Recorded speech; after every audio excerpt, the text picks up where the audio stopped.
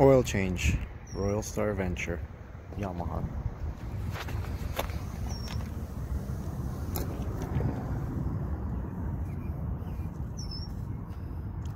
Look for the nut. First thing, being good Canadian, get some hockey pucks and try to sort of balance things out. Don't mind the damage.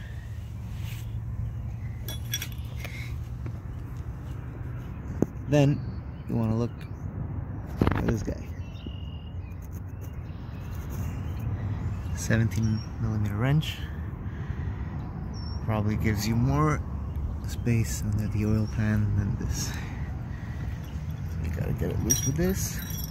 And in my case, let's finish off with this. So yeah, could probably jack up the bike. It would be a lot easier to do this.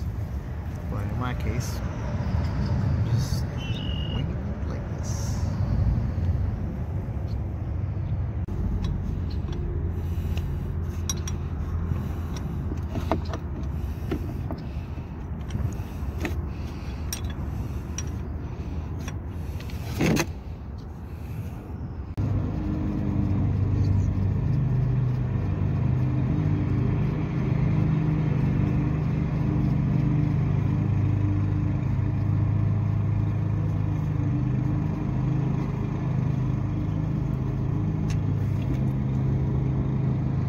you better invest in a glove.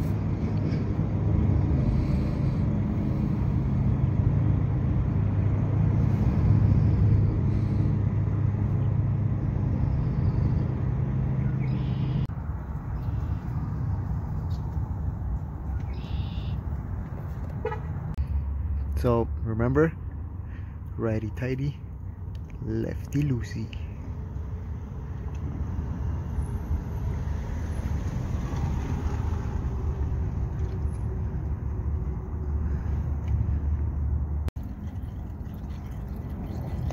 Let it sit there for a while.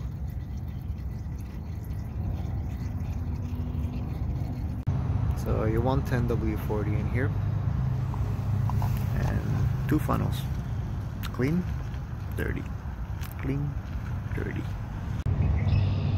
Try to put your bike level the most Canadian way possible.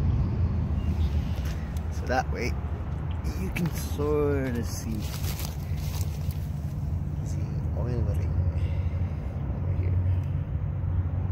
So you want to oil uh, your oil filter. Screw the nut back in and start about uh, filling up. So according to the user manual, if you do the filter change, which you should, you're going to use 3.7 quarts of oil, which works out to just a little bit less than this. So don't dump it all, dump it steadily and then figure out where you're with that little keyhole. Mm, I'd show you how to do this, but I'd rather use my two hands.